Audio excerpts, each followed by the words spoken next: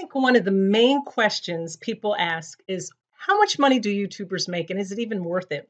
I'm curious all the time. I'm growing my channel. I know what I'm making, but I'm always curious about what are other people making, people that are further along in their journey than I am. Well, lately I've started wondering are people making the same amount of money based on the number of subscribers they have?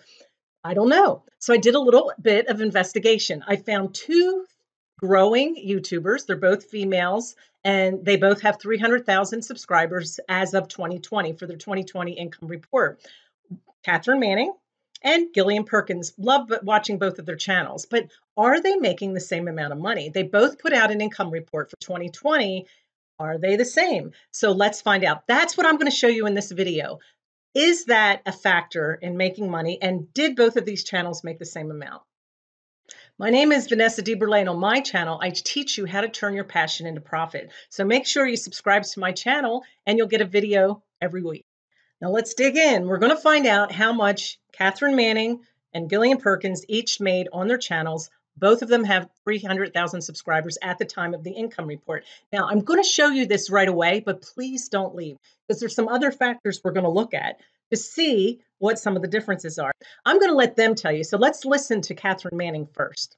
So without wasting any more of your time, let's take a look at my main channel and how much money I ended up earning just from my ads alone in 2020. I have 2020 selected up top here so you guys know the stats are right and I ended up earning $88,717.64 just from my main channel alone. And as you guys can see right over here, that's from 9.7 million views. Actually, more specifically, this is the exact amount of views that I ended up earning this year. And my Wow, $88,000. I think I could use that. What about you? I think that is amazing. Cathrin Manning has grown from the bottom up, just like you're doing now. If you're you've got your own channel or if you're thinking about it, everybody starts from the same place. And she has an amazing backstory. She actually quit her job, didn't have a lot of income coming in, and just dedicated everything she had to her YouTube channel. And it has paid off for her. She went through some rough times, got into some debt, but it's all gone. And she has a really neat story. So anybody can do it.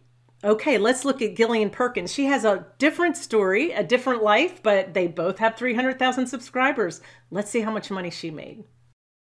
How much my channel has earned for the past year. So we're going back to the revenue tab, but now we are going to change it to the last 365 days. And this right here is how much money my YouTube channel earned from ads in the last 365 days. It's 63,000 $842,000. So a little over $60,000 just from ad revenue. I just think that is so cool because that right there is a full-time income and that's just from the ads on my videos. It's not me doing anything else to earn any additional money just from making videos and that is pretty cool. Wow, $63,000. Now, wait a minute. $63,000, $88,000. That's a $25,000 difference. They both have 300,000 subscribers. So what's going on? Why is one channel earning $25,000 more than the other? Let's go ahead and pull up their uh, screenshot of each of their income reports so that we can compare, um, see if there's anything else that we can compare. If you notice on Cathrin's, she has 9.7 million uh, views on her channel for the year, while Gillian has 7 million views. So right there, that's a 2 million, million views difference. So views matter. That's what I want to point out. There's also something else that matters. I want to bring up one more thing. That's why I don't want you to leave because this is really important.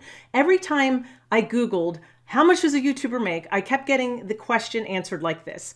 Well, it depends on what the CPM is and for every thousand views. So that means every thousand views, you get paid X amount according to the ads. Now, is that always the same? Every time I looked it up, they'd say, oh, it's around $2 or not to $9. And I'm thinking, well, what is the difference? I'm going to explain that to you here, but I'm also going to let them explain it on their channel so that you can see what a CPM is, what an RPM is, and why that matters as well. Now remember, these two channels are very similar, but evidently the ads that are getting put onto their channels are different. They're paying different amounts, and you're going to see that. Now, if you don't know what a CPM is or an RPM, and it's just like, ah, what is that? I did make a video where I went step by step and really tried to break it down. Please watch that so that you can understand what that means because I really dug in and, and wanted to show that to you, okay? All right, let's find out from Cathrin what her RPM and CPM is, okay? And then right after that, I'll go ahead and play Gillian, and then I'll come back with a, a, little bit of an overview after that.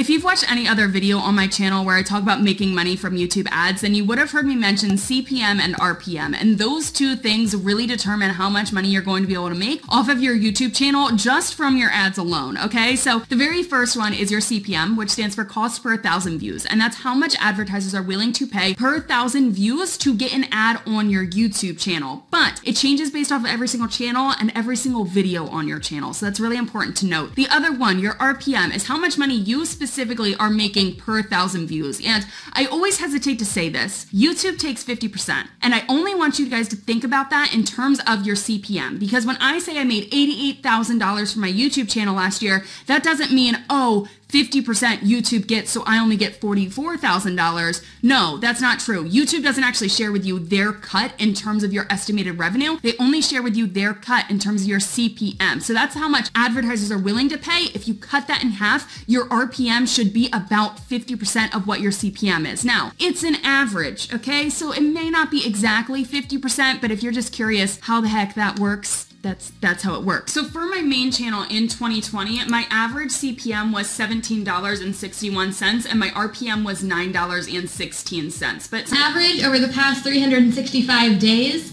the CPM or the amount that YouTube paid me on average for every thousand views was 16 dollars and 32 cents so a little over $16 per thousand views that I got okay now let's get into looking at a few of my top earning videos to see what the CPM was for those videos.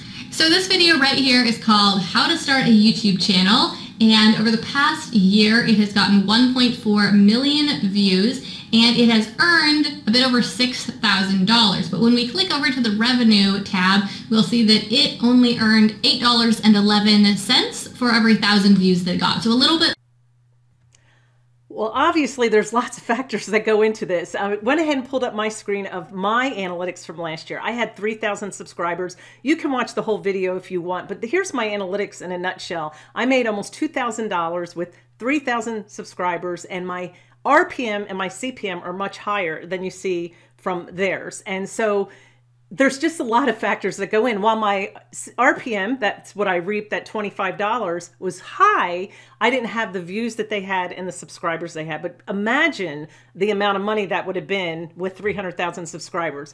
Unfortunately, it's not that simple just to do the math because by the time I get to 300,000 subscribers, my RPM and my CPM may go down. What I want you to get from this video is that you can make money being a YouTuber, but you want to make sure you're doing something that you have a passion for. I do have a link below where I help you determine if you have a passion that can be turned into profit. It's a little uh, course that I have below. Um, check it out. And keep coming back. Subscribe to my channel and I'll have more videos like this for you in the future. Thank you for watching and I look forward to seeing you on the next video.